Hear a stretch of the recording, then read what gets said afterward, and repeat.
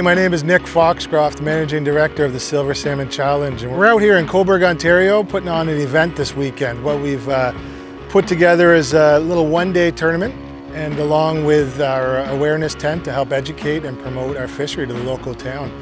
We had uh, some great feedback, a lot of passerbys that come down to enjoy the waterfront. Um, we, we got the opportunity to let them know what we have out there for our salmon fishery, um, how they could participate through the charter industry, and even people with their own boats, how they could start to get involved in, honestly, the world's best salmon fishery. And uh, we had a great turnout, great weather, and uh, it was a fun event. For us, Cobourg, Ontario is a great platform.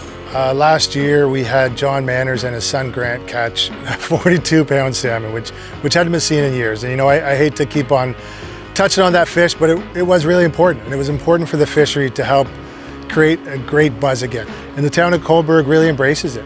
Um, I mean, this fish made mainstream news and, and the town of Cobourg was, was the location it happened at.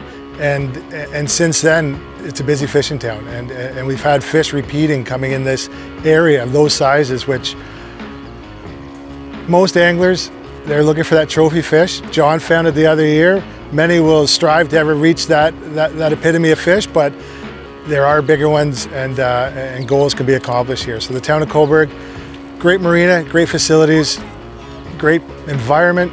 Just love to be here.